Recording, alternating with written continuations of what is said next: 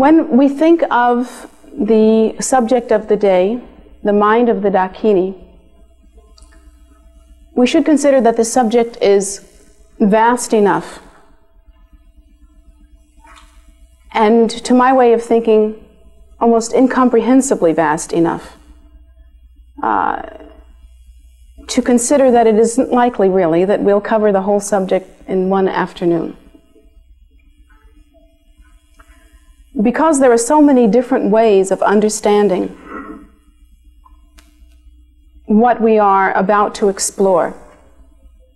We have to begin, however, at some point, and we should consider then that we are exploring and we are beginning and we are thinking uh, of a certain aspect of the mind of the Dakini, and we should not think that we have truly accomplished the mind of the Dakini.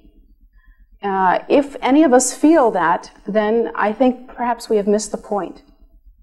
But we should think that slowly, slowly, through the virtue of our practice and over a period of time, this understanding will come to us. And so we should tread, I think, gently and uh, in a sensitive way, um, with confidence, and yet, I think, with humility simply because to understand any aspect of the Buddha, the body, speech, mind qualities or activities of the Buddha, to understand anything of the three precious roots, the Lama, the Yidam or meditational deity, and the Dakini or Khandro, to understand any one of these is a subject so profound that ultimately, through practice, it will lead to supreme enlightenment. When we think of the mind of the Dakini, it is almost impossible to speak of the subject without speaking of supreme generosity. The two go hand in hand because, according to tradition, the Dakini is considered to be an emanation of the Buddha nature itself and is considered to be actually the activity of the Buddha. The Dakini or primordial wisdom, female essence, is considered to be uh, the activity of the Buddha's nature. And so when we look for ourselves at the activity of enlightenment, we cannot look at the activity of enlightenment without considering very deeply the nature of compassion and uh, its, its method. So let us speak then about, first of all, supreme generosity. Before we actually come to the point of discussing the nature of the Dakini, let us speak of supreme generosity. There are three ways, basically, to understand supreme generosity, or to understand generosity at all. The first way to understand generosity is the least favorable, it is the inferior way. And when we understand generosity in the inferior way, we would basically be understanding it in a very superficial or external way. It would be seen in accordance with the usual externalized view that we normally practice. That view, which is associated with the belief in self nature as being inherently real and the belief in the separation between self and other. And coming from this perspective, one would consider generosity in this way that Generosity is an action that is that comes from a source and is delivered to a goal. In other words, that it comes from uh, one person and is given to another. That it that it, uh, it that it is an action which has a point of origin and a an end goal. In thinking of generosity in that way or of compassion in that way, we're not doing anything too unusual. We are maintaining the common view, and that is the view that is dependent on the belief in self nature as being solid and very real, the view that, uh, that due to that belief in self nature as being sol- solid and very real, results in the belief in uh, the separation between self and environment.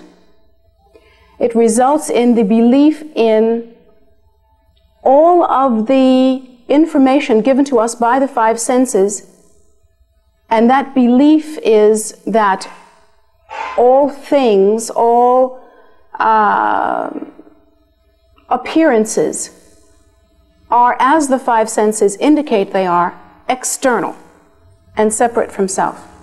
That is the common view. It is the view that is experienced by all sentient beings, without exception. All sentient beings uh, that are involved on the wheel of cyclic death, death and rebirth that have not achieved enlightenment feel, perceive, and register their consciousness through the senses. And here in our uh, human realm, these senses are uh, understood as the five senses. And uh, the, the consciousness or perceptual ability that is the accumulation, the assumption that is due to the activity and the perception of the five senses. All of us experience in that way. Even if we have had excellent moments in our practice, moments that were meaningful and perhaps even profound to us, still, all of our experiences rely on externalized perception. There, there is no one here that is free of that kind of perception. We all experience it. It is our common humanity. And although we cannot know this for sure since we have had no direct experience that we can remember of being any other kind of life, according to the Buddha, all sentient beings have that same kind of experience, although it is modified by the particular karma of their realm of existence. For instance, human beings have the karma to be human, there is a particular karmic fabric or karmic format that has ripened in order to, uh, to uh, uh, result in their humanity. And animals, which we do know exist because we have seen them with our own eyes, and that's generally what causes us to believe in things.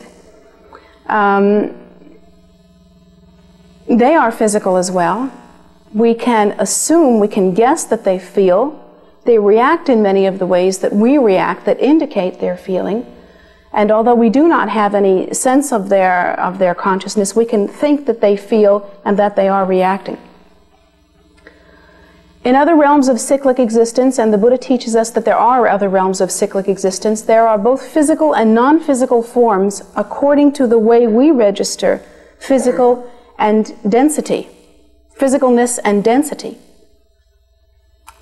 And in each of these realms, there is a, a separate and, and uh, definite kind of karma, a definite kind of perceptual experience that takes place due to the particular karma of that realm, and, and one, is, one is born into uh, a realm of existence according to one's karma. There are lower realms and there are higher realms. There are realms that are not very enjoyable at all, and there are realms that are extremely enjoyable. And they each have their particular benefits, and they each have perhaps their particular uh, discomforts.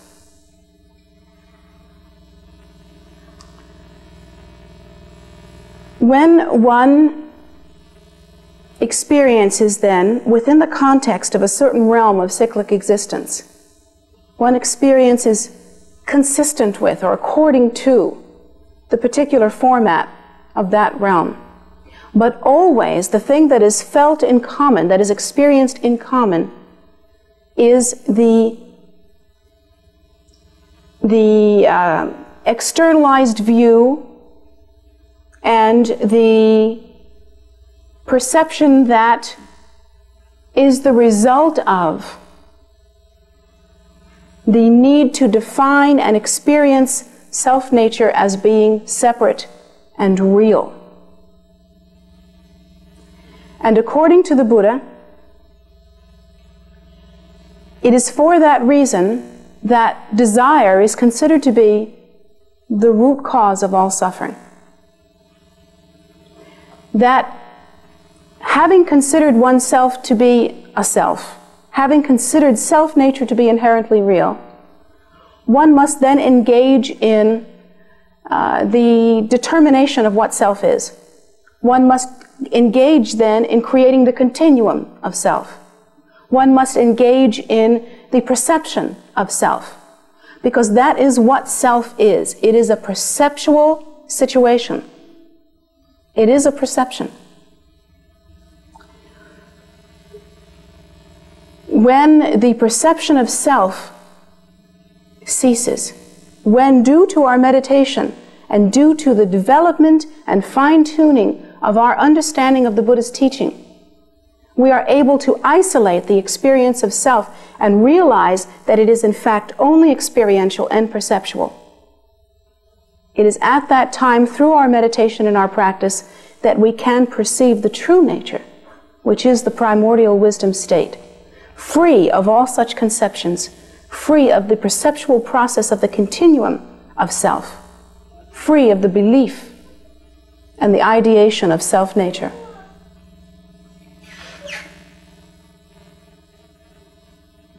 But until that time, all of our experience, every single morsel of it, is based on this belief in self nature as being inherently real and the compulsion, actually, to continue the definition, the stability, uh, the idea of self.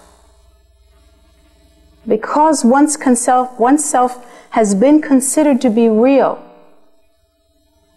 there is a kind of almost compulsive tension that goes with the need to perpetuate that idea of self.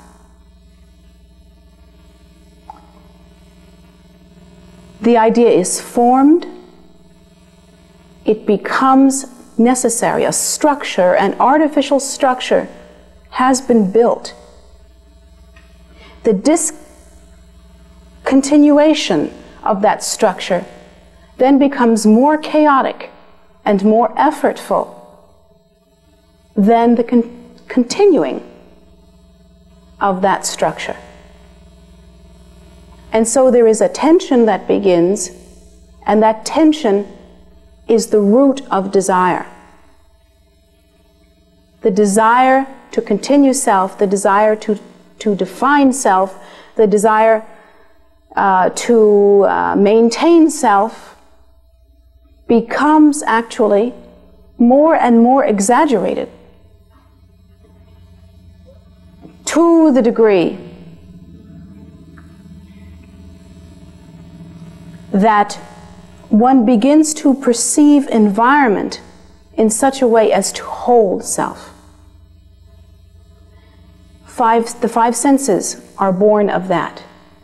In their primordial wisdom state, in their true state, the five, sen- the five senses are the five celestial wisdoms. They are the, the pure, uncontrived awareness of nature, the pure, uncontrived awareness of emptiness. They are wisdom. Yet, due to the, the need to continue the belief in self nature as being inherently real, due to the, the,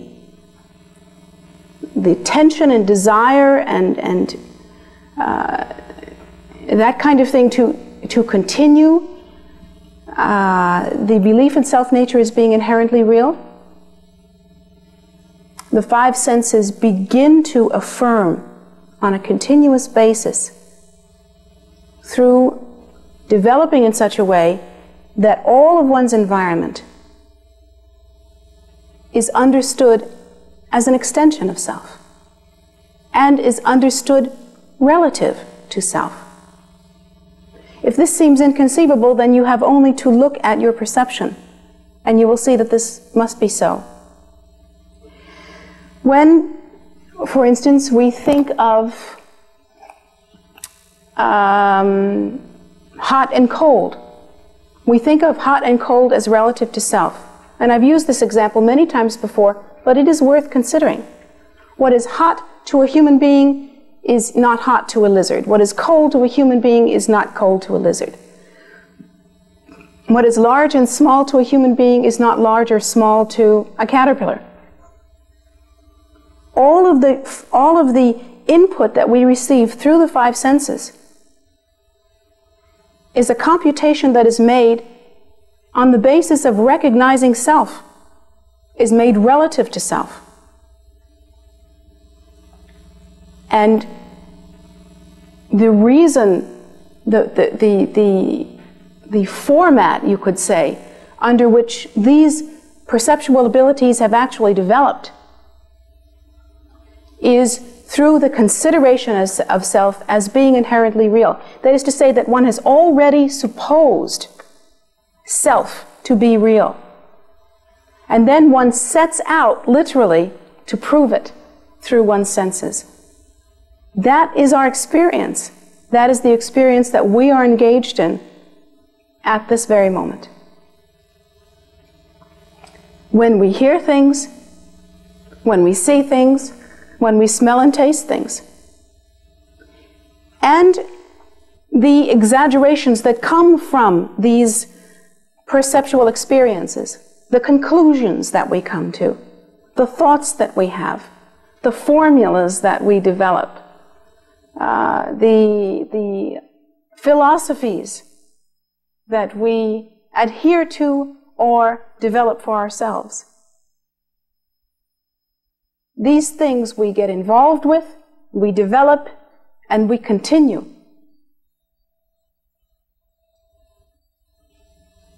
As an exaggeration of the process of continuing self.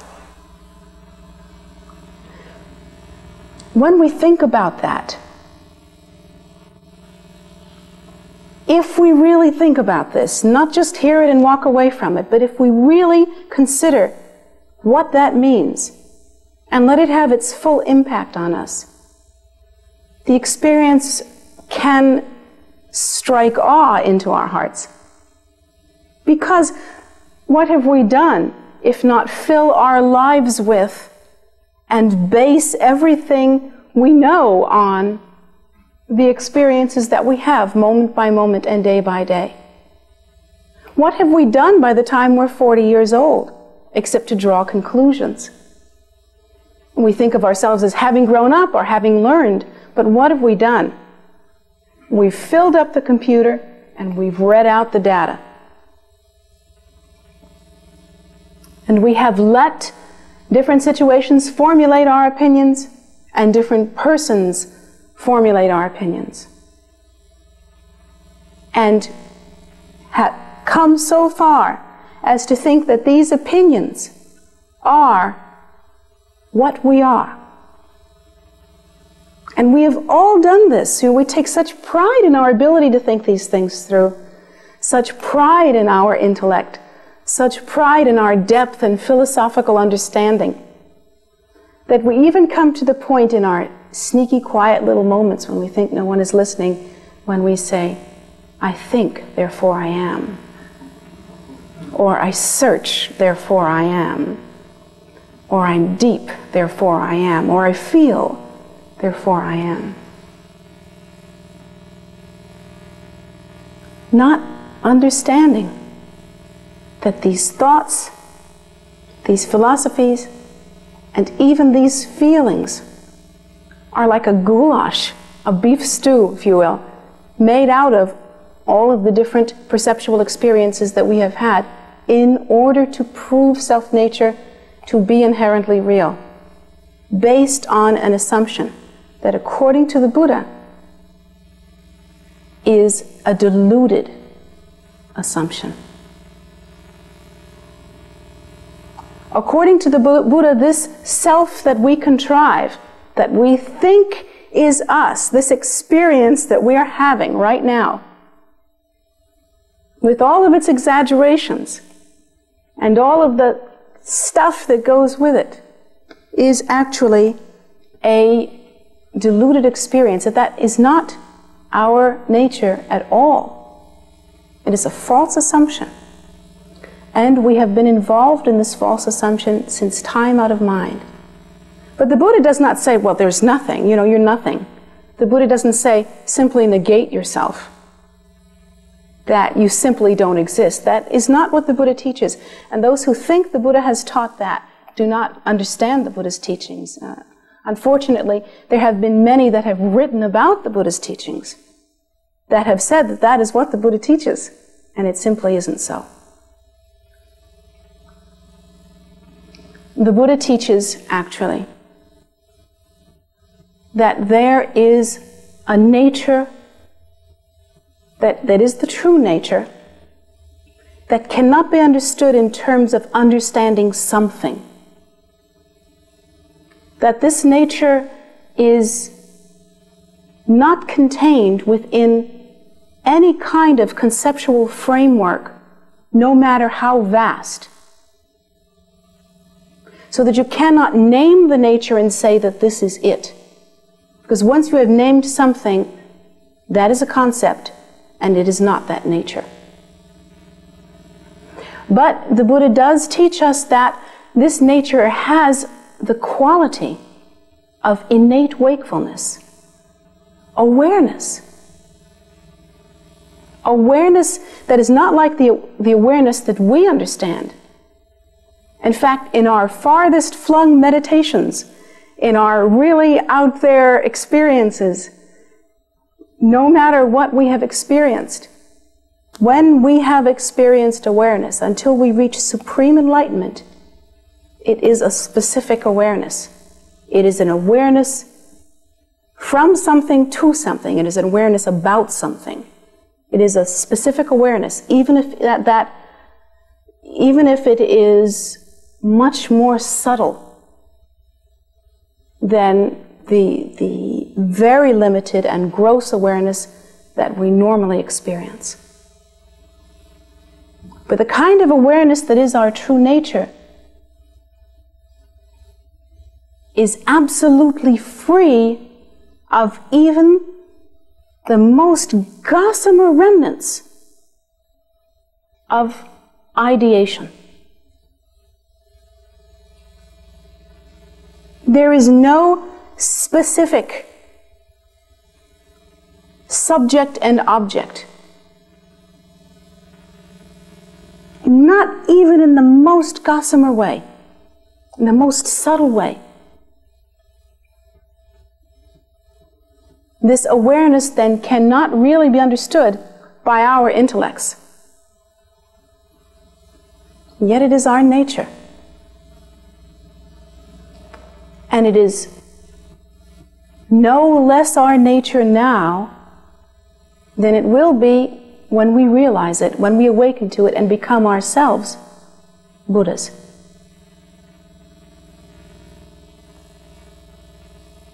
And yet, perhaps for many of us, there has never been a time when we have known it less.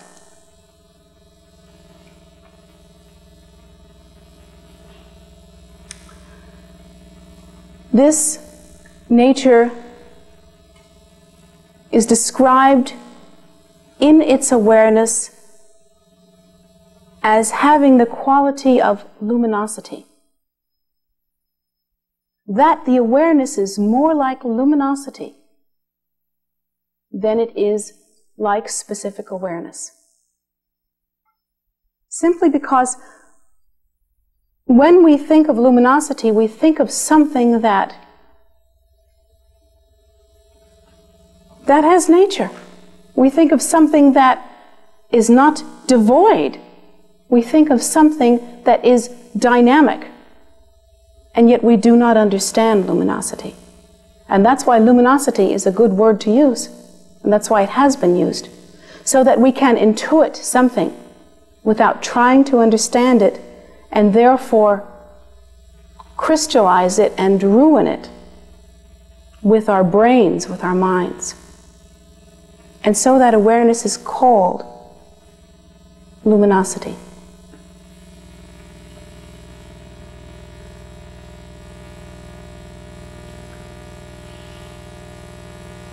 One can look at relative existence, at all of the myriad of experiences that we enjoy, at all of the many perceptions that we engage in.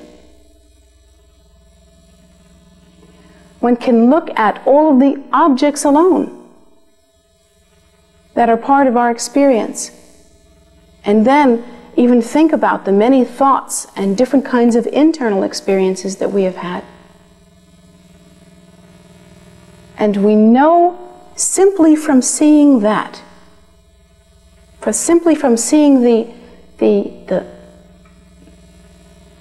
the multiplicity of experience and phenomena, we can tell from that that our nature is not something black and void and empty in the way we understand empty, that is to say, as the opposite of full. That's the only way we understand empty.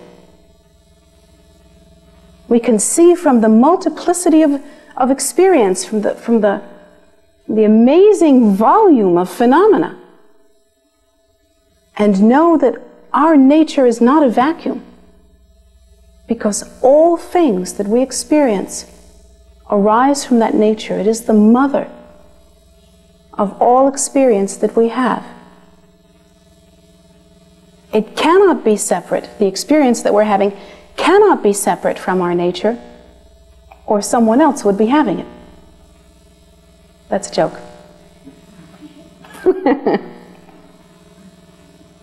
but it's actually quite true. that we have this experience, that the experience is real to us, that it continues in its extravagance, is an indication of the great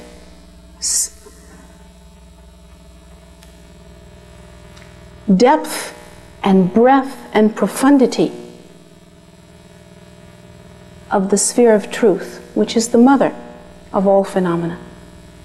That which is our nature.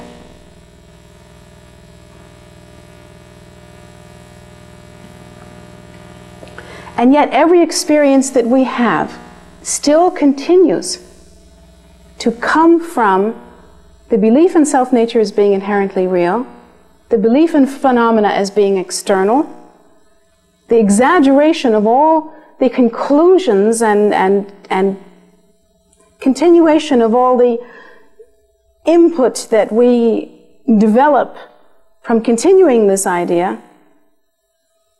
And yet, and, and this, this experience, this superficial experience of externalization,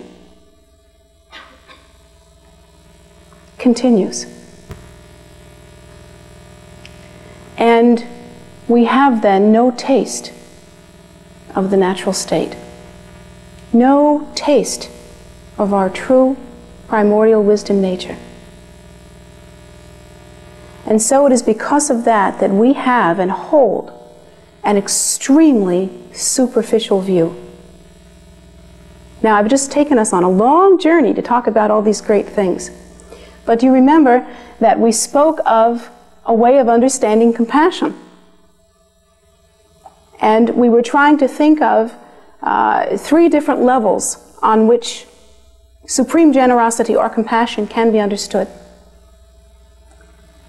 What I have done now is to sort of manipulate us through a little experience or a little talk or whatever you would like to call it in order to indicate how it is that every thought we have at this moment about what supreme generosity must be about is based on this false assumption of self nature,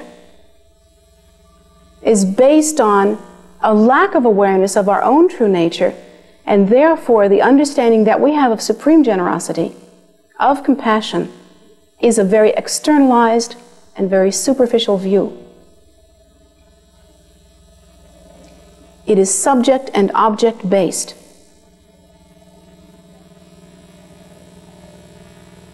It is understood in such a way that it will cause us to think of generosity as a set of rules that one might follow. And in order to understand and to practice generosity in that way, one would have to have guidelines, one would have to have rules. It would be like a moral code.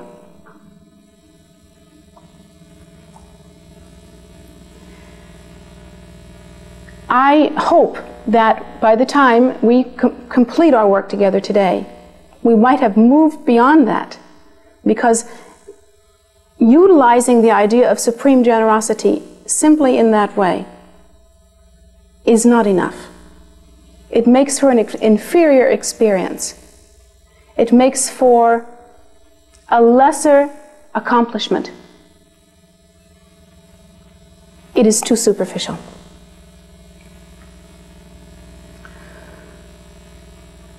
It results in the very ordinary kind of practice that might be engaged in if one decided one wished to be a spiritual person.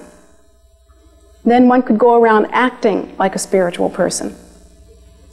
And in acting like a spiritual person, one does not truly change.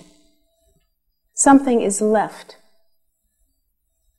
And the reason why is that the one who wishes to be a spiritual person still remains deluded by the egocentric idea. So the wishing to be a spiritual person is not consistent with the mind of the Dakini. It is not consistent with a deeper practice. And in fact, it is not consistent with supreme enlightenment. Yet, one can have some results. In truth, one can have some results simply by accomplishing uh, some meritorious cause and effect phenomena, that is to say, good karma. If we were to begin now to go out and feed the hungry and heal the sick, in some future time, that benefit would ripen and we perhaps would have someone help us. Perhaps at some future time we would experience being fed and being. It is the fruit that results in one's spiritual progress. Definitely, it leads one, leads one closer to enlightenment as it is the antidote to selfish behavior and desire. And that is quite true.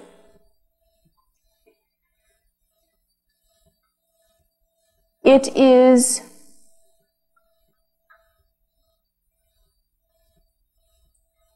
beneficial and uh, what is the word that I want? Desirable. Maybe it's not the word I want. But I, with license, I will use the word desirable. in that it produces the relaxation of one's compulsive concentration on one's own needs. It produces the relaxation of that which produces suffering. Because selfishness, concentration on one's own needs to the exclusion of others, produces the affirmation or reaffirmation of the deluded belief in self nature as being inherently real. It produces and increases that inner tension associated with desire. And it tends to increase itself. Desire tends to increase itself. The, the more desire acted upon, the more desire is actually experienced in one's mind stream. It isn't the opposite, contrary to our uh, uh, common understanding. The more one satisfies one's desire, the more one experiences desire within one, in, one, in one's mind stream. On the other hand, uh, the more one acts kindly and with loving kindness and unselfishly, uh, then the more one experiences the relaxation of needfulness and grasping. Of course, this is very hard for us to view because all we can think of is very immediate result. And the very immediate result we learn in things uh, that are consistent with, for instance, our physical bodies. Um, let's say if I'm thirsty, I learn that if I drink water, that thirst will be finished. It will be solved. And so, from a conclusion like that, I have the idea in my mind that if I feel that I need something and I take that something, or I have it, or I have it, I get it for myself, or even if it means taking it away from someone else, if I get it for myself, then that immediate need will be solved. And actually, it's true. We experience that immediate need being solved. But what we don't realize is that in place of that immediate need pop up millions of other little baby needs that grow up to be big needs over time. That they actually develop in such a way as to beat the heck out of their parent needs and become more and more obvious and obnoxious. And it just never ends. So that's the part that we seem to miss because we are uh, a people that have developed the 30 minute sitcoms, you see, that always resolve within 30 minutes. And if we have the capacity to develop 30 minute sitcoms, then we have the capacity for immediate gratification. And that's a very important indication of where we're at. You should think about that when you watch TV. An hour at the outside can solve most life crises. And there is no next week. It simply is a new, new picture next week. That's just the way we think. Watching what we watch on TV is such a good indication. It's a wonderful way to watch the nature of your mind because it's exactly how we experience our lives. We do not realize that desire actually increases itself gives birth to itself, nurtures itself, supports itself, reproduces itself. Always. So, it is beneficial to practice in such a way that we accomplish a great deal of virtuous activity, activity that is of benefit to sentient beings. And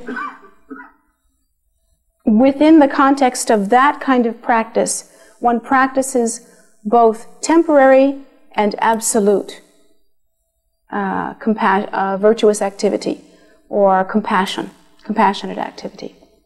Temporary uh, compassionate activity is that activity which is immediately beneficial and which is beneficial for some temporary time. For instance, uh, the temporary helping of another person, the, the, uh, even to solve a specific problem that seems to be permanently solved. Um, the problem of hunger, the problem of sickness, the problem of um, poverty. These things are actually temporary problems, according to the Buddha's teaching, because the Buddha does not see us as having simply one lifetime. The Buddha sees us as a continuum of many different lifetimes, constantly a revolution within cyclic existence. And that even the solving of the problems of one lifetime, even all of them, and even solving them until the time of one's death, the Buddha considers that to be temporary solution. So even if, for instance, we could find a way as, our, as part of our practice to feed all the hungry of the world, and I sincerely hope that we can find a way to do that, um, and to house all the homeless of the world, and to heal all of the sick of the world until the time of their death. According to the Buddha, we cannot follow them into the bardo state. We cannot follow them into their next incarnation. We cannot be sure that where they are next, they will not again be hungry and homeless and poor. We cannot assure that. So the Buddha considers that all of the things that we do are beneficial and we should do them, but they are temporary. And we should actually put our emphasis on solving the problems of sentient beings permanently. Solving them forever. And to solve them forever, one must solve them at their root, at their foundation. And that is then the elimination of desire. And according to the Buddha, all of the ways in which we experience our lives, the joyful ways and the ways that are suffering, come from our karma, from our past karma. Everything that we've experienced in this lifetime really doesn't come from the way our parents treated us. It really doesn't come from what our, our uh, the fact that uh, daddy was never home and uh, mother was working. And it really didn't come from all of the different uh, things that we blamed them on. They actually came, even the one about daddy being never home and mother always working, came from the karma that remains within seed form within our minds. And is actually what we're seeing is the ripening of a series of cause and effect relationships that are interdependent and that arise interdependently and ripen in many, actually randomly. And the, the experience we have is actually that ripening. And according to the Buddha, therefore, in order to solve the problems of sentient beings, one has to pacify the ripening, and one does that through practice and meditation. Then one has to cut out the cause of that ripening at its root. Therefore, one has to dismember karma, cause and effect relationship, through one's practice.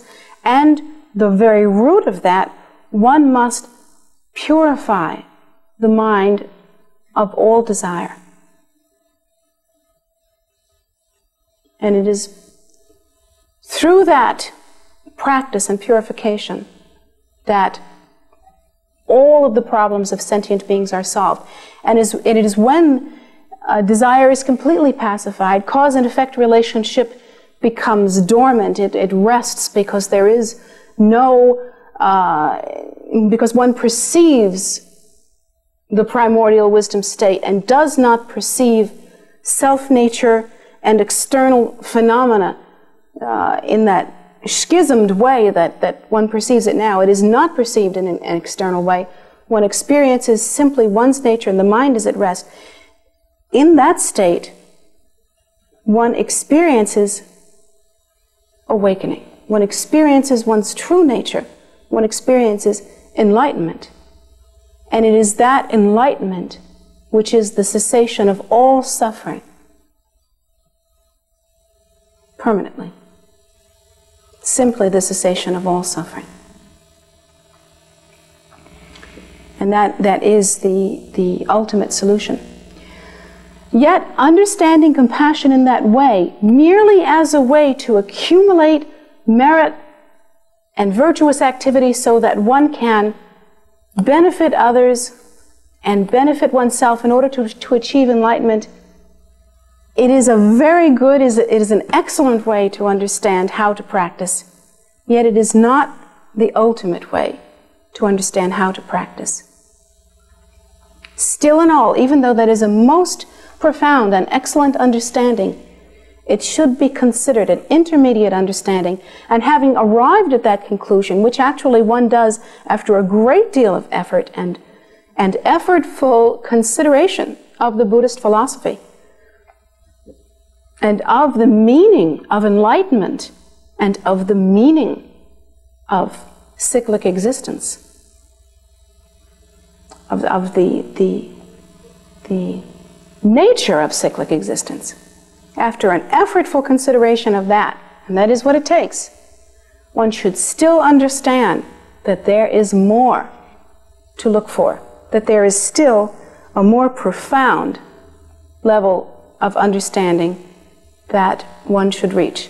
And what we're going to do now is to take our lunch break And uh, then we are going to come back and understand and discuss the ultimate view of supreme generosity. And in discussing that, one will arrive at a better understanding of the mind of the Dakini. And the reason being that all of the considerations that we have discussed thus far, the consideration of uh, considering generosity to be a subject and object uh, reality, a divided reality, a very superficial reality, and, and even to consider it a set of moral codes, and then to go on, even to consider uh, supreme generosity to be a way to accumulate virtue and merit so that one can achieve realization in order to benefit beings. These ideas are thought of in relation to self. The self is considered in order to understand these. The basis for these thoughts is the belief in self nature as being inherently real. I will benefit others. I will achieve enlightenment for their sake. There is still the assumption of self.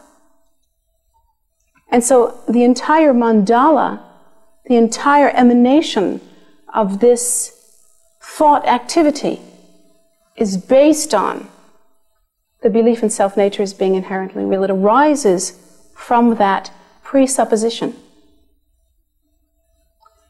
Whereas the, the view of the Dakini, the view of supreme generosity in its most ultimate sense, does not arise from that supposition, but instead arises from the primordial wisdom state from the very nature of emptiness itself.